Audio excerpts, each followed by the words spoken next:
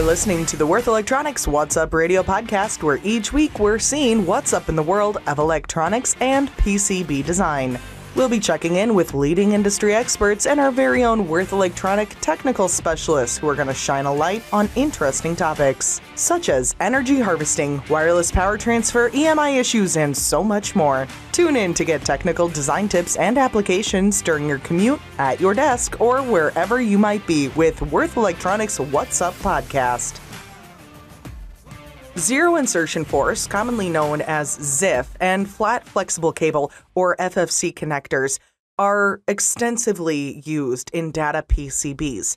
But there's currently no standard that precisely defines the signal integrity characteristics of these connectors as uh, characteristic impedance, S parameters, and available protocols.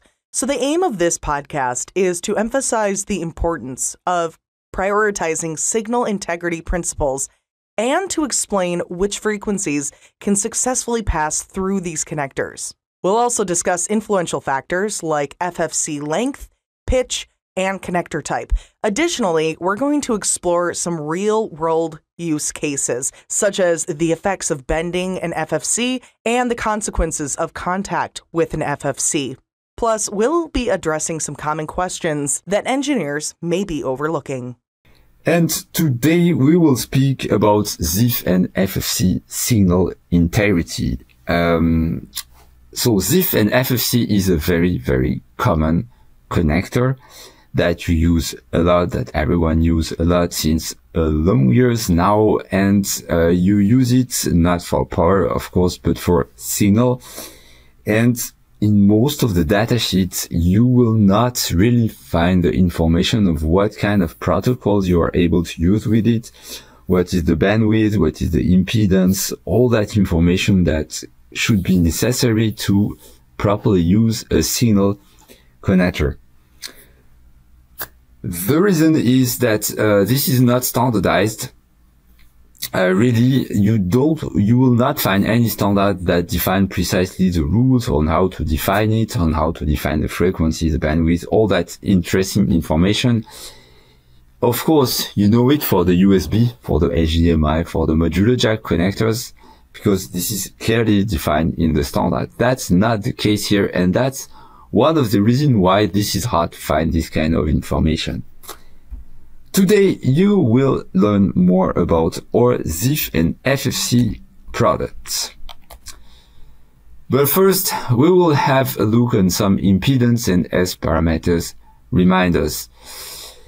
Of course, so uh, one thing that is very basic is that the EM wave, electromagnetic wave that is traveling in your PCB is the same than the light. The light is an EM wave exactly the same that is traveling in your PCB. That's important to understand just the frequency change, but that's exactly the same phenomena.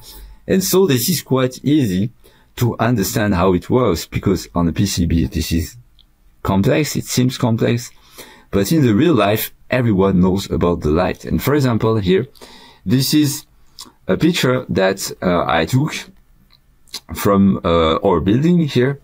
Uh, here you have a painting uh, where you see the Würth Elektronik logo, and in the background some uh, one of or uh, some of our skyscraper that we have in the city, small skyscrapers.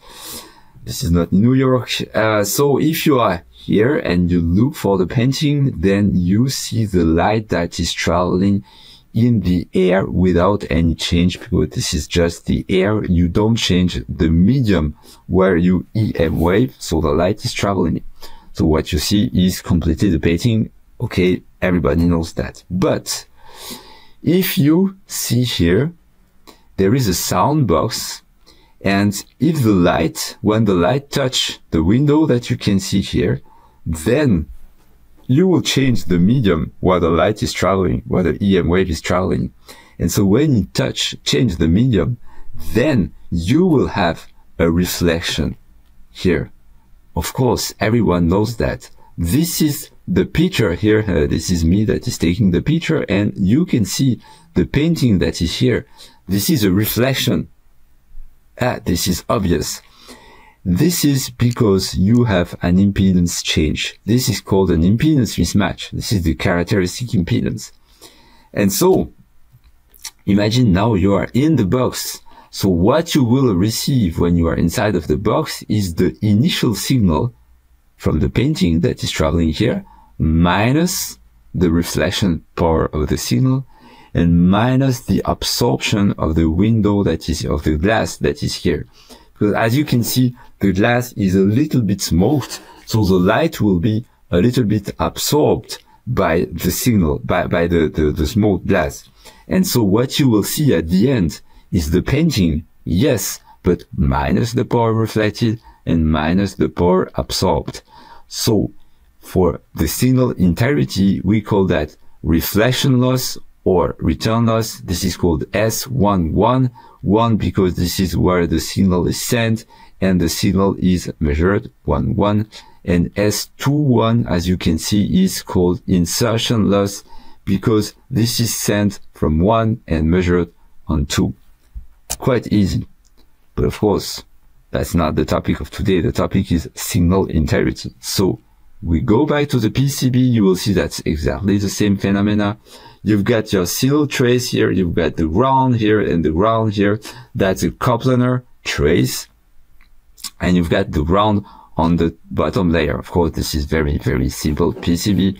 This is not the real life, I know, but this is just to make you understand. When you send a voltage and a current or signal inside of the trace, then you will create an electric field between the ground and the signal here, from here to here, from here to here, and from here to here. And of course, you will have the magnetic field also. So electric field plus magnetic field, this is an EM field. And what is also really important to understand is that what is important here is not the current and the voltage that is traveling inside of the copper, but really what is out of the signal. Your power, the power of your signal is not inside of the copper, but outside of the copper through the EM field. And so what is really important is not the copper trace, but what is out of the copper trace. For example, the material that you use for your PCB, FR4 or not, and the distance that you will find between the trace and the ground layer. This is symbolized by a parameter that is called characteristic impedance. And at high frequency, well, we don't have the time to develop how to get that equation. I've got only one equation during this presentation. This is this one. At high frequency, the characteristic impedance is roughly equal to the square root of the inductance divided by the capacitance. And how is characterized the capacitance? You will see why I say that. This is to have a better feeling and understanding uh, of your piece of your characteristic impedance. Because, for example, here the capacitance is linked to the distance between the trace and the ground is linked to the distance between the trace and this bottom ground layer uh, is linked to the permittivity of, let's say, the FR4 or the PCB material you use, the width. For example, if you increase the width, this parameter, then that will increase the capacitance. And so if you increase the capacitance, you will decrease the characteristic impedance. If you increase the 8 here, this distance, then you will decrease the capacitance and then you will increase the, the characteristic impedance. Okay. That gives you good information on the best way to, uh, to, to feel this characteristic impedance. But of course, if you want to really have a real good, uh, uh, a real good uh, characteristic impedance calculation, then you need more. You have characteristic impedance calculation everywhere on internet on Altium. This is here why, how I did to create a 50 ohm trace. Then this is a thickness of 35 micrometer, classical with 1.2 clearance of 0.25 on the PCB of 1.6. And now we go to the setup. the setup is what I say here. This is the PCB I use to do all the measurements. Here you see we recognize a ZIF from our brand, of course.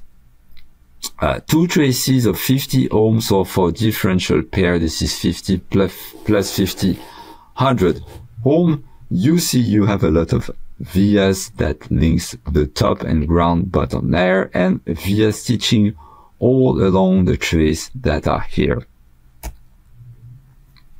And today we have only 30 minutes to present you that. So we will talk only about differential pair. But of course, if you want, we have all, uh, all information on the signal end. So here today we will see ground, signal, signal, ground. So signal, signal is a differential pair. One small reminder about the decibel that's important because we always talk about decibel dB and well, even me, sometimes I forget what it means. So below minus 20 for the return loss, this is below of 1% of the power reflected. Between minus 20 and minus 10 dB, you've got below 10% of the power uh, reflected and above this is of course above 10%. So of course it depends on your application, depends on your protocol, but let's consider for this training that very good is below 1% and acceptable is below 10% of the power reflected.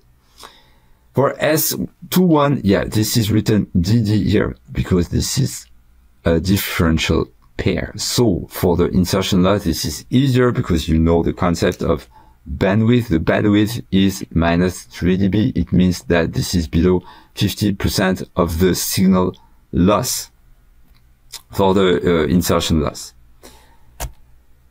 So now we go a little bit more into the topic. What we want to know is what is possible to put as frequency in impedance inside of our connector uh, regarding the pitch also, we have the pitch of 1, the pitch of 0.5, what is the influence of the right angle with the horizontal one, what is the influence of the LIF and the ZIF, is it better? Some interesting parameter. We have tin and gold contact for ZIF and FFC. Who is the best? If you take gold contact, will it increase the signal integrity or not? You don't know, maybe you will have the answer. What is the influence of FFC length? And uh, if we, uh, because we have also folded uh, cables, so does it has an influence? Does it decrease the signal integrity or not? That is also an interesting question that I have had, had a lot of time in the past. So I hope you will learn it today.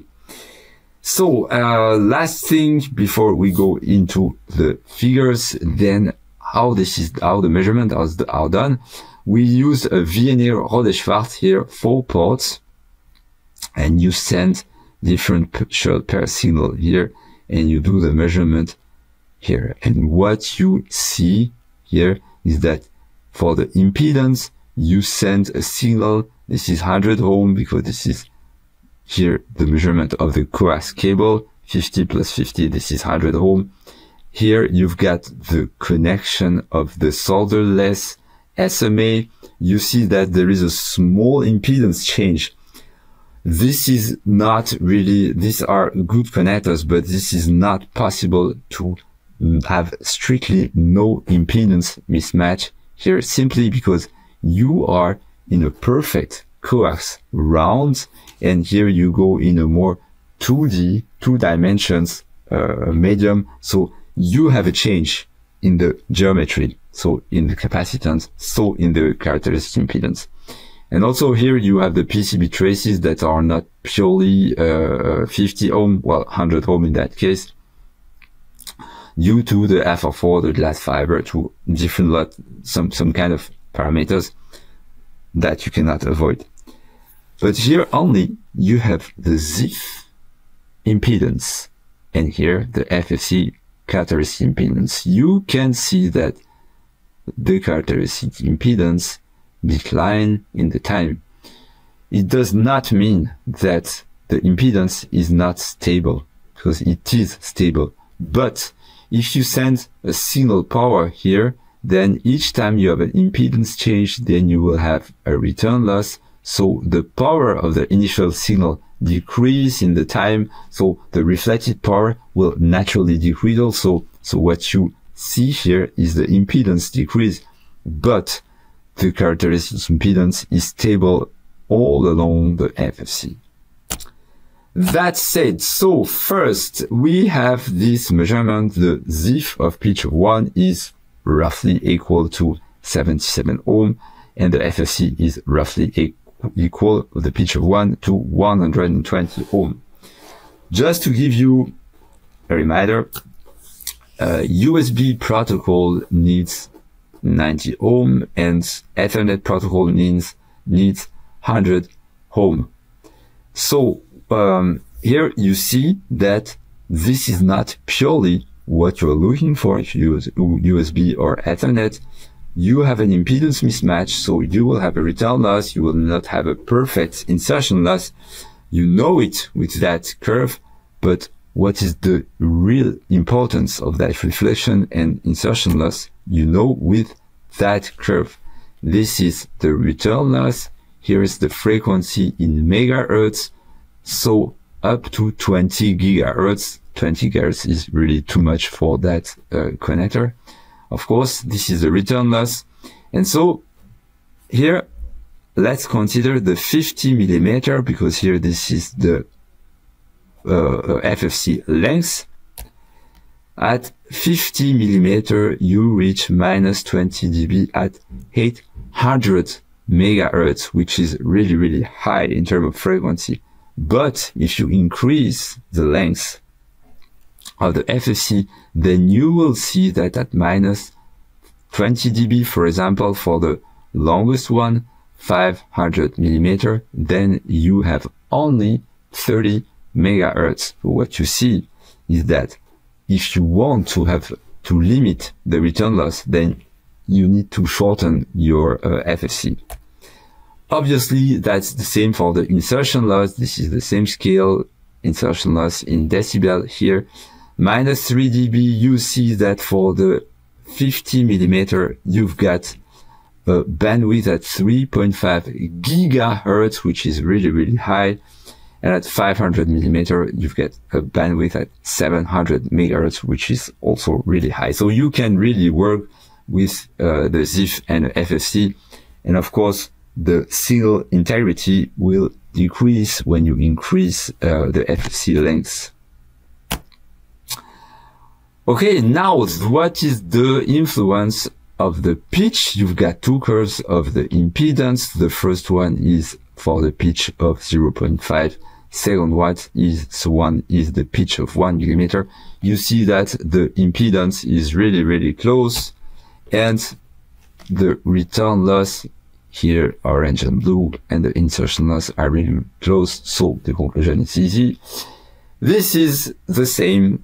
So you use, you choose the pitch of your ZIF for your application for mechanical. I don't know what kind of reason, but that's not a topic uh, for, for the signal integrity because that gives the same good results.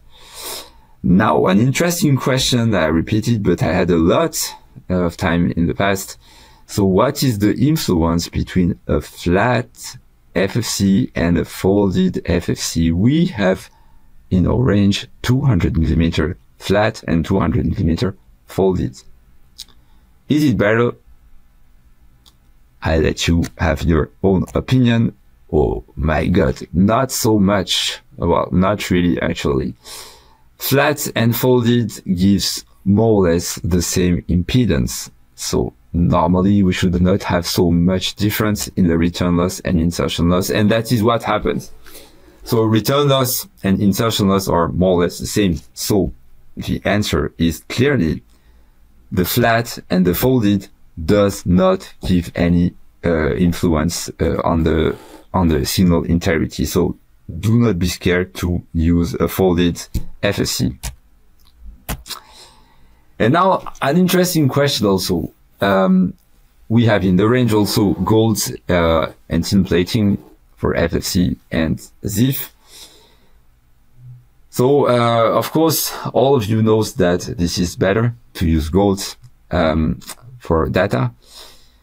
But do you really know why this is so important? Because we have gold everywhere. I mean, um, we have gold on the uh, USB Type C connector. We have gold on the modular jack, on the HDMI, uh, a lot of different kind of thing for data. But what is the real reason for that? Because of course, gold is more expensive than the tin. That's completely obvious. And that's the case for every brand, of course. Does it bring something to the signal integrity? Hey, that's strange. What we see here is that the impedance is the same for tin and golds. So we'll see that it has an influence on the return loss and insertion loss? Not at all. This is exactly the same. So I am wondering why do we have to buy gold instead of tin, then use tin? This is a good question. And the answer is don't forget that this is done with new products and with new products, you have no oxidation issue. The big advantage of gold is that you cannot corrode gold ever. Um, apart from some specific chemicals, but that's really too specific. You cannot corrode gold with salt, with humidity, with pollution, with anything you want. And that will never happen. Not in six months. Never, never. And that's also increase the number of mating cycle you can use it. Uh, so in that case, what you have at the beginning, you will have in six months, you will have in five years, 10 years, 20 years, whatever you want. Tin is more sensible to oxidation and any kind of metal oxidation will increase the contact resistance and so will decrease the signal integrity. But of course, that does not mean that you cannot use tin for data. You can use ZIF and FFC tin if you are in a closed box, if you don't, without any too much dust, standard moisture, and if you do not touch the FFC every day with your hand, because on your hand, you always have grease, pollution, because you touch everything. And so you will bring chemicals on the product that will oxidate your uh, plating. So that will do strictly nothing on gold and that will oxidate the tin. So if you want that your contact is usable with your hands, if you want to uh, have a not let's say a harsh environment or a lot of moisture pollution which is outside then you have to use golds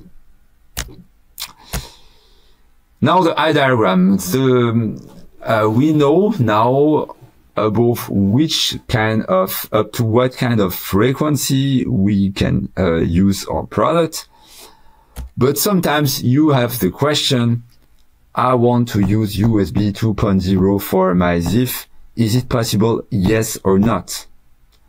We can do this on the VNA. You can do a eye diagram that is called like this. So you send a lot of bits, falling edge, rising edge, rising edge, falling edge, and you have the printing of each bit one after the other. And a lot, a lot, a lot, a lot of bits are printed here you have the eye mask that is given by the standards. And if the eye mask is integrated inside of the eye diagram, the eye diagram is deformed, of course, by all the um, parasitic capacitance, inductance, all the circuit. Then if it's inside, then you can say, yes, the USB 2.0 could be used for FFC and ZIF. USB 3.2, that's yes, up to 200 millimeters folded or not, but above this is a little bit uh, too much. And 3.2 Gen 2, this is not possible. This is too fast.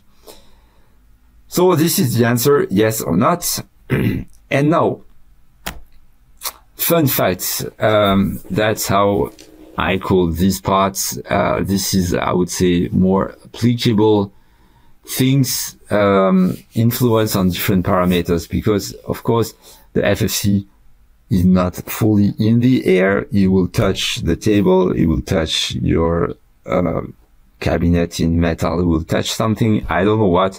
So I try to do some interesting parameters.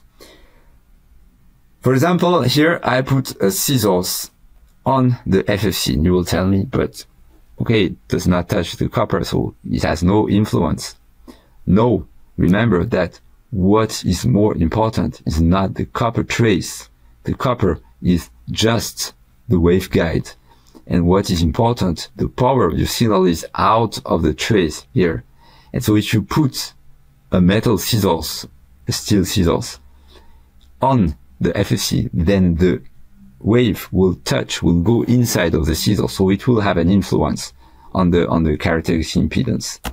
Here, you obviously see that you have a big influence of this parameter this is orange, this is this one, in blue, this is this one. But so we now know that you have an influence, but it does it has an influence on the return loss and the insertion loss? Yes, above one gigahertz. So above one gigahertz, you will decrease faster your signal integrity and you will increase a lot too much your um, return loss. Okay, above one gigahertz, if you want to use it, then you do not have to put the scissors, uh, but you will see there is another example that is uh, really interesting also just afterwards.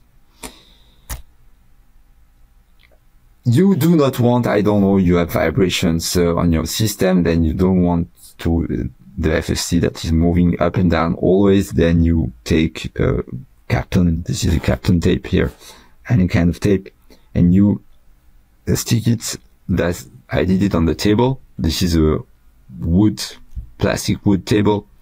Does it has an influence on the signal integrity? Yes, you see that the impedance change. You have an impedance change because you change the permittivity of the environment of the signal. Does it has an impact? Not really, not really. You, so you do not have really to consider that. The insertion loss is a little bit different, but not so much.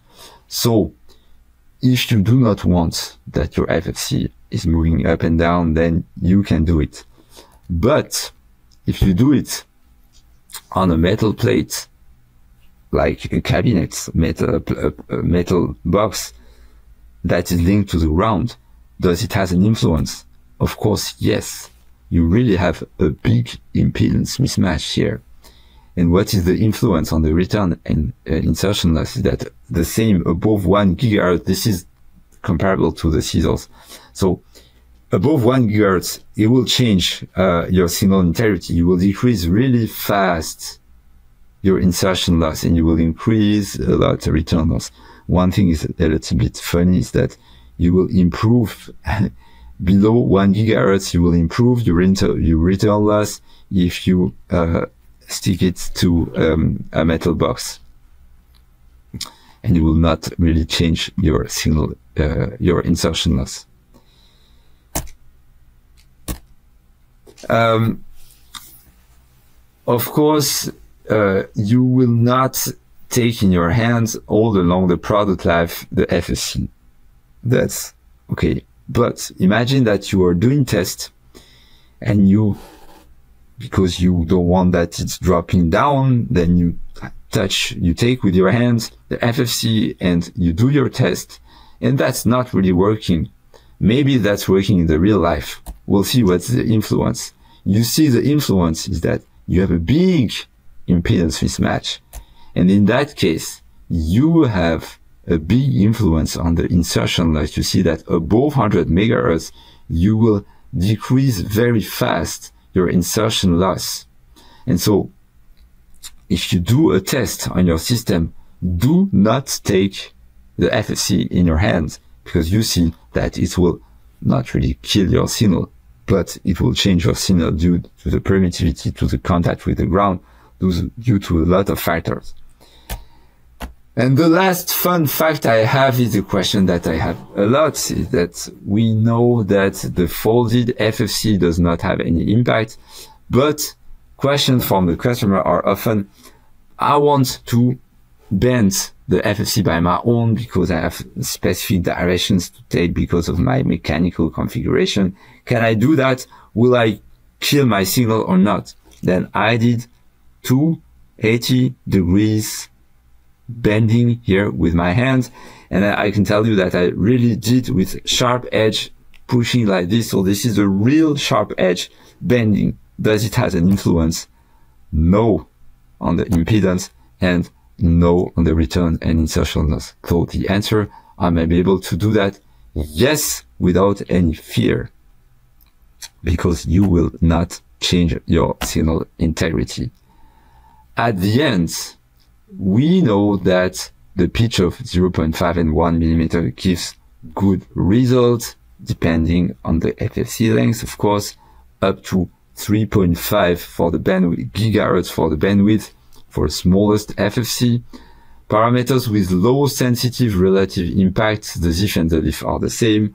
Gold plating and tin gives the same result in the beginning, but if you want to use it and to manipulate it and to do a lot of mating cycles, then use gold.